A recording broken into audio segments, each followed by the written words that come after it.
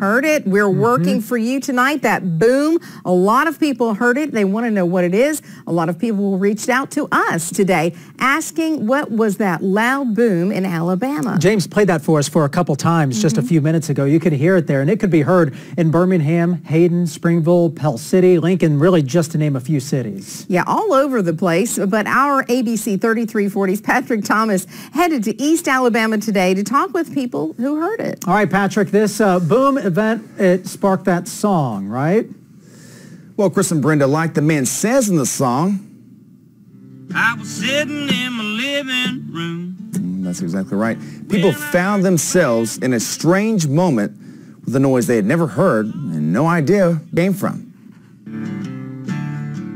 It's the sound. Everybody's just wondering what it is. sitting in my living room. Just sitting in my recliner. I heard two booms. We're all asking about. Sounded like a propane tank or something just exploding. And I looked, I didn't see nothing sailing through the air.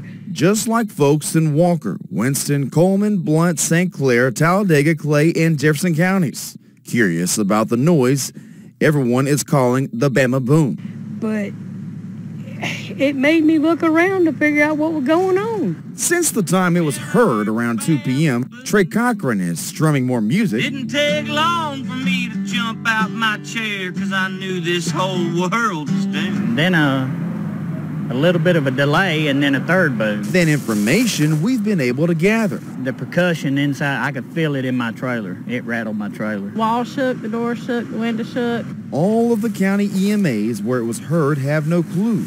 We put calls into NASA who is looking into it.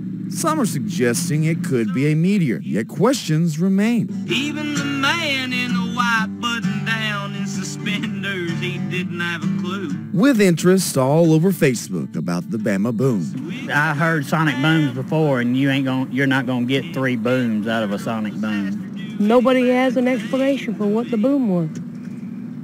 It truly shows the power of social media. We've reached out to NASA, who just got back to us about 20 minutes ago. They still don't know the origin either, but say eyewitness reports of a vapor trail point to a meteor or an aircraft as a possible cause. We've also reached out to Maxwell Air Force Base to find out if it could have been a training exercise and pilot broke the sound barrier. We have not heard anything back just yet.